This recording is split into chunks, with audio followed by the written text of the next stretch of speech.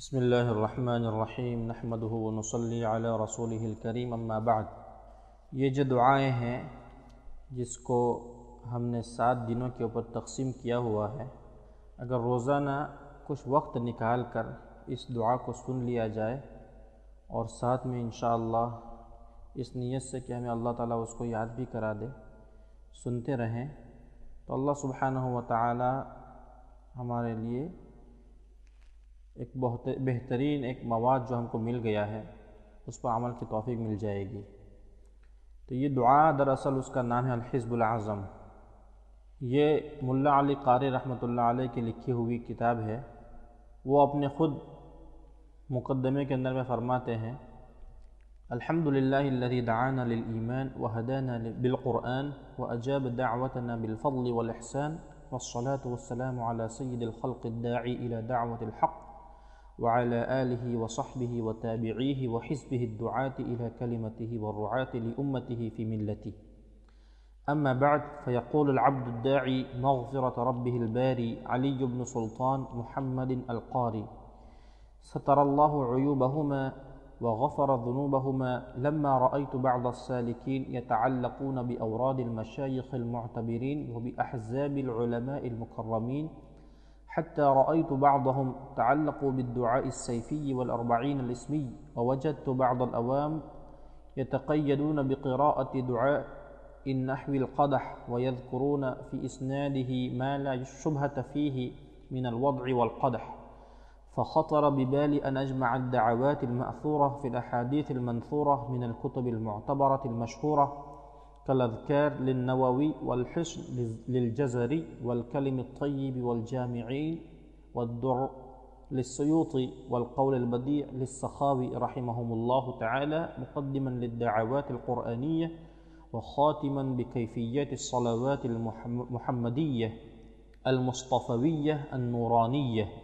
راجيا دعاء من يدعو الداعي فإن الدال على الخير كالساعي وأسأل الله أن يجعل السعي مشكورا. وقصدي مبرورا وهذا الجمع الذي هو معدن الدعاء ومنبع الثناء على ألسنة الطالبين مذكورا وعن تحريف المبطلين وتصحيف الملحدين مهجورا.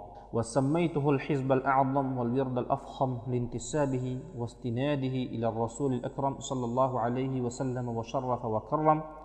فعليك بحفظ مبانيه والتأمل في معانيه والعمل بمضمون ما فيه فإنه شامل للمنجيات وحافل للمهلكات لأنه صلى الله عليه وسلم لم يترك خصلة حميدة ولا خلة سعيدة إلا طلبها من الله تعالى وسألها ولا فعلة قبيحة وفطرة ردية إلا استعاذ به منها إجمالا وتفصيلا وإكمالا وتكميلا وتذييلا وتتميما وإعلاما وتعليما زاده الله تعالى شرفا وتعظيما وإجلالا وتكريما. فهذا كمال طريق المتابعة النبوية وزبدة المقامات العلية المنسوبة إلى السادة الصوفية الصفية. فإن قدرت كل يوم على قراءتها فبها ونعمت وإلا ففي كل جمعة وإلا ففي كل شهر وإلا ففي كل سنة وإلا ففي العمر مره مرة أيضا غنيمة. وإذا أردت قراءته في في عرفات فزد فيه لا إله إلا الله وحده لا شريك له. له الملك وله الحمد وهو على كل شيء قدير. مئة مرة. وسورة الإخلاص مئة. وسبحان الله والحمد لله ولا إله إلا الله والله أكبر. مئة. والاستغفار مئة. والصلاة على النبي صلى الله عليه وسلم مئة. وزد التلبية في أثناء الدعوات والبكاء والتضرع لقبول الحاجات. یہ تو عربی میں تھا، اس کا ترجمہ انشاءاللہ ہم پڑھتے ہیں تاکہ ہمارے سامنے یہ چیزیں آ جائے کہ ان، اس کے پیچھے مقصد ان کا کیا تھا، اس کتاب کے پیچھے، ان دعاؤں کے پیچھے۔ بسم اللہ الرحمن الرحیم۔ بڑے مہربان نہایت رحم والے اللہ کے نام سے شروع کرتا ہوں۔ تمام تعریفیں اس اللہ کے لیے لائق ہیں جس نے ہمیں ایمان کی جانب بلایا اور ہمیں قرآن کے ذریعے ہدایت دی اور ہماری دعاؤں کو ازراہ فضل و احسان قبول فرمایا۔ اور رحمت و سلامتی نازل ہو سچے مذہب کی جانب سب کو بلانے والے سردار کائنات پر اور آپ کے پیغام کی جانب دعوت دینے والے اور آپ کی شریعت کے پیروکاروں کے نگران پر اور آپ کے اہل خانہ اور صحاب اور تابعین اور عوان و انصار پر۔ اما بعد، بندہ علی بن سلطان محمد قاری۔ سطر اللہ عیوبہ میں عرض پرداز ہے کہ جب بعض سالکین طریقت کو میں نے دیکھا کہ وہ معتبر مشائق کے اوراد اور علماء کرام کے وظائف بڑے شوق اور ذوق کے ساتھ پڑھتے ہیں، حتیٰ کہ بعض تو دعائے سیفی اور اربعین اسمی کا بھی ورد رکھتے ہیں۔ ادھر بعض عوام کو دیکھا کہ وہ دعائے قدح جیسی دعا پڑھا کرتے ہیں اور اس کی ایسی اسناد بیان کرتے ہیں جس کے موضوع اور مجروح ہونے میں ذرا بھی شبہ نہیں۔ تو میرے دل میں یہ داعیہ پیدا ہوا کہ جو دعائیں حدیث کی مشہور اور معتبر کتابوں میں مذکور ہیں وہ میں ایک جگہ جمع کر دوں۔ جیسے امام نووی کی کتاب الاذکار اور امام جزری کی حسن حسین اور الکلم الطیب اور الجامعین اور الدر۔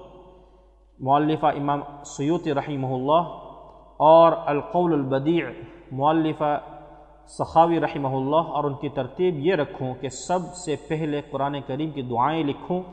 اور سب سے آخر میں آ حضرت صلی اللہ علیہ وسلم پر درست شریف کے کلمات رکھوں اور اپنے حق میں بھی دعائے خیر کا امیدوار ہوں، کیونکہ کار خیر کا محرک بھی اس کے کرنے والے کی طرح ہوتا ہے۔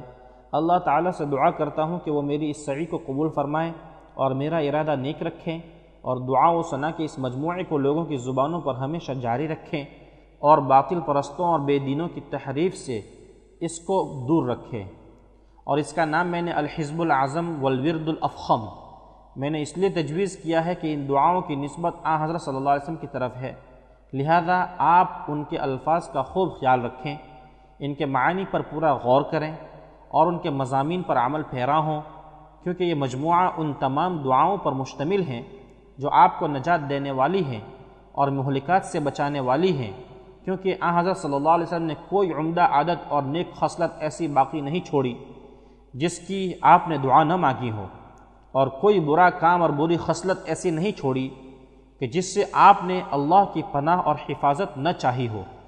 درا حال ہے کہ آپ کی دونوں طرح کی دعائیں بغرض تعلیم و تربیت اور بغرض تکمیل و اتمام مجملاً بھی تھیں اور مفصلاً بھی۔ اللہ تعالیٰ آپ صلی اللہ علیہ وسلم کے مجد و شرف اور اعزاز اور اکرام کو اور زیادہ بڑھائے۔ بس اس کو حضرت صلی اللہ علیہ وسلم کی پیروی کا صحیح طریقہ اور صوفیہ کرام کے مقامات کا خلاصہ سمجھنا چاہیے۔ لہذا اگر آپ اس مجموعے کو روزانہ پڑھ لیا کریں، جب تو کیا ہی کہنا۔ ورنہ جمعہ جمعہ صحیح نہیں تو مہینے میں ایک بار۔ اگر یہ بھی نہ ہو سکے تو پھر سال میں ایک بار تو ہو۔ اور اگر یہ بھی ممکن نہ ہو تو عمر بھر میں اگر ایک بار بھی میسر آ جائے تو بھی غنیمت ہے۔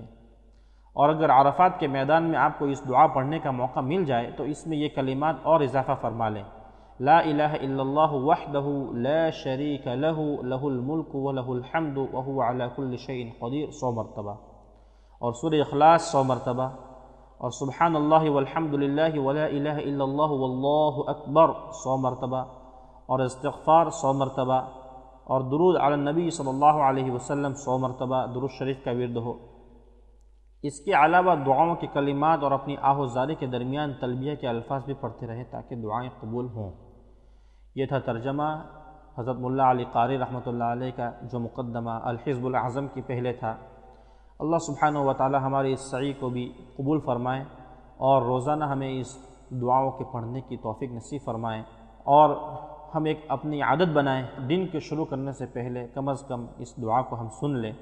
اور اس کو ساتھ ساتھ پڑھنے کی کوشش کریں تاکہ اللہ سبحانہ و تعالی پورے دن بھر کے برکات ہمیں میسر فرمائے۔ آمین۔ واخر دعوانا ان الحمد رب العالمین۔